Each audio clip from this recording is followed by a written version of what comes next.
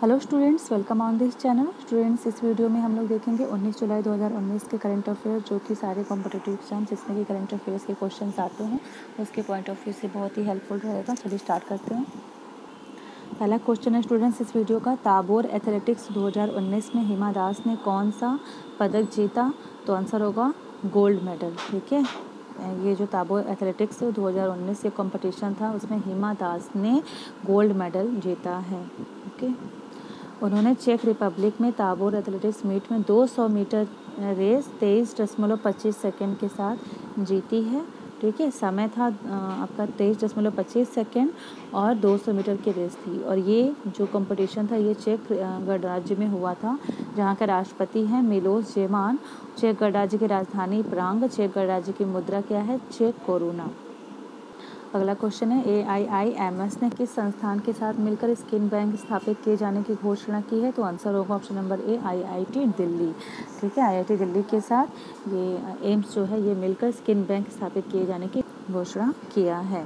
ठीक है, ये देखिए इसका इसका स्लोगन है ये donate your skin save a burn victim इसमें क्या है कि आई दिल्ली और एम्स ने मिलकर कृत्रिम त्वचा बना त्वचा बनाने की उन्होंने घोषणा की है, त्वचा तैयार किया है, जिसका उपयोग प्लास्टिक सर्जरी में किया जाएगा और ये जब इम्प्लांटेशन हो जाएगा स्किन का तो ये ओरिजिनल स्किन की तरह कार्य करेगा। ठीक है, देखिए यहाँ ये जो ये कृत्रिम त्वचा है, ये बहुत ही कम कीमत पर उपलब्ध होगी और ये प्रत्यारोपण के बाद असली त्वचा की तरह काम करेगा।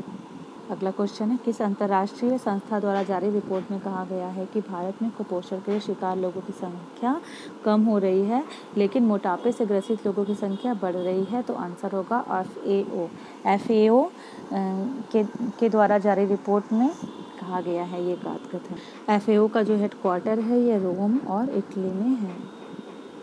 नेक्स्ट है एनजीटी ने अति गंभीर प्रदूषित इलाकों में प्रदूषण फैलाने वाली गतिविधियाँ बंद कराने के लिए सेंट्रल पोल्यूशन कंट्रोल बोर्ड को कितने महीने का वक्त दिया है? तो आंसर होगा बी, तीन महीने का वक्त वक्त दिया है एनजीटी ने अति गंभीर प्रदूषित इलाकों में प्रदूषण फैलाने वाली गतिविधियाँ बंद करने के लिए। ओके नेक्स्ट है संगीत नाटक अकादमी द्वारा निम्नलिखित में से किसे? 2018 के संगीत नाटक अकादमी फेलोशिप अकादमी रत्न के लिए चुना गया है। तो आंसर होगा सोनल मानसिंह सोनल मानसिंह को ये संगीत 2018 के संगीत नाटक अकादमी में अकादमी रत्न के लिए चुना गया है। चार और जानी मानी हस्तियाँ हैं संगीत से रिलेटेड जगत से जाकिर हुसैन, सोनल मानसिंह जतिन गोस्वामी और के कल्याण सुंदरम पिल्लई को सर्वसम्मति से संगीत नाटक अकादमी फेलोशिप के लिए चुना गया है। अगला क्वेश्चन है स्टूडेंट्स किस राज्य मंत्रिमंडल ने शहीद सैनिकों के परिवारों को दी जाने वाली वित्तीय सहायता 25 लाख से बढ़ाकर एक करोड़ रुपए की जाने की घोषणा की है? तो राज्य है महाराष्ट्र। ठीक है, महाराष्ट्र ने यह घोषणा की है कि शहीद सैनिकों के परिवारों को दी जाने वाली वित्तीय सहायता सहायता पच्चीस लाख से बढ़कर एक करोड़ रुपये होगी। अगला है नेल्सन मंडेला अंतर्राष्ट्रीय दिवस। 18 जुलाई को मनाया जाता है। Option number D is the right answer national Nelson Mandela अंतर्राष्ट्रीय दिवस 18 जुलाई को मनाया जाता है। देखिए, ये इनका स्लोगन है। मैंने ये नहीं जाना कि डर का ना होना साहस नहीं है। मैंने ये जाना है कि डर का ना होना साहस नहीं है, बल्कि डर पर विजय पाना साहस है। बहादुर वह नहीं जो भयभीत नहीं होता, बल्कि वह है जो इस भय को परास्त करता है। ठीक है, ये है नेल्सन मंडेला जी के ये चार।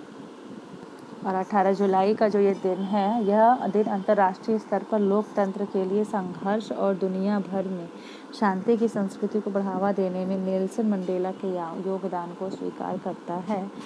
तो संयुक्त राष्ट्र का जो मुख्यालय है, ये न्यूयॉर्क यूएसए में है और ये 24 अक्टूबर 1945 को स्थापित किया गया और इसके महासचिव हैं श्री एंटोनियो गुटेरेस, ठीक है? ये संयुक्त राष्ट्र के महासचिव हैं।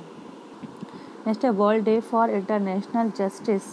World day for international justice किस दिन मनाया जाता है? तो ये सत्रह जुलाई को मनाया जाता है, world day for international justice. अंतर्राष्ट्रीय आपराधिक न्यायालय मुख्यालय जो है, ये दहेग और नीदरलैंड में है। नेक्स्ट क्वेश्चन है, अगला I S S F junior विश्व कप में अनिश भानवाला ने कौन सा पदक जीता है? आईएसएसएफ जूनियर विश्व कप में अनिश भानवाला ने ये गोल्ड मेडल जीता है, स्वर्ण पदक। ये जो I S F I S S F junior विश्व कप जर्मनी में आयोजित किया जा रहा है 25 मीटर रैपिड फायर पिस्टल प्रतियोगिता में स्वर्ण पदक जीता है।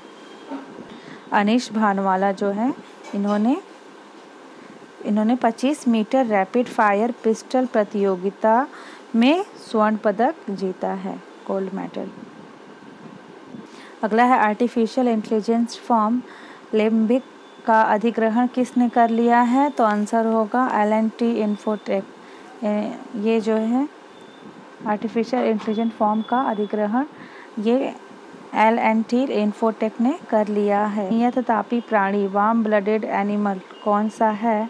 वार्म ब्लडेड एनिमल है ऑप्शन नंबर सी चमगादड़। चमगादड़ जो है, ये वार्म ब्लडेड एनिमल है okay warm blooded animals they generate their own heat and maintain they generate their own heat and maintain a body temperature independent of the environment और they are also known as endotherms इनको जो warm blooded animals होते हैं, इनको endotherms भी कहते हैं, और वो अपने बॉडी का जो टेम्परेचर होता है, उसको मेन जो हीट होता है बॉडी का और टेम्परेचर होता है, उसको इन्वायरमेंट से मेंटेन करते रहते हैं खुद से और um, इनको एंडोथर्म्स भी कहते हैं and it should be noted most of the mammal and birds are warm blooded animal maximum जो मैमल्स और बर्ड्स होते हैं they are warm blooded animal और कोल्ड ब्लडेड क्या होते हैं? ये जो इनका बॉडी टेम्परेचर होता है ये डिपेंड होता है टेम्परेचर ऑफ़ दियर सराउंडिंग उनके चारों ओर के सराउंडिंग के ऊपर ये डिपेंड होता है। अगर वे वे वे हॉट होंगे जब उनके चारों ओर का इन्वायरमेंट हॉट होगा और अगर उनके चारों का इन्वायरमेंट कोल्ड होगा तो वो कोल्ड होंगे, ठंडे होंगे। और उनको एक्टोथम्स भी कहते हैं और most of the amphibians reptile invertebrate और मोस्ट फिशेस जो होते हैं वो सारे कोल्ड ब्लडेड होते हैं। अगला क्वेश्चन है एंटीजन प्रतिजन जो है एक ऐसा पदार्थ है जो प्रतिरक्षी के निर्माण को बढ़ावा देता है। ठीक है एंटीजन एक ऐसा पदार्थ होता है जो कि एंटीबॉडी के निर्माण को बढ़ावा देता है। अगला क्वेश्चन है कि पिट्यूटरी ग्लैंड शरीर में किस स्थान पर स्थित होता है? तो ये होता है मस्तिष्क के आधार भाग में। ठीक है, ये ब्रेन है तो ये ब्रेन के यहाँ पे, ये निचले स्तर पर, ये यहाँ पे पिट्यूटरी ग्लैंड प्रेजेंट होता है, ठीक है? तो स्टूडेंट्स ये वीडियो यहीं पे रोक रही हूँ और इसके आगे के करेंट अफेयर्स को अगले वीडियो में देख, देखिएगा, ठीक है? आप लोग प्लीज़ चैनल को सब्सक्राइब कीजिए, इस वीडियो को एक लाइक करना नहीं भूलिएगा और अपने फ्रेंड्स में इसको ज़रूर से शेयर कीजिए, ठीक है? ताकि सभी तक ये वीडियो पहुँचे और सभी को हेल्प मिल सके एग्ज़ाम्स की तैयारी के लिए, ठीक है? Thank you for watching this video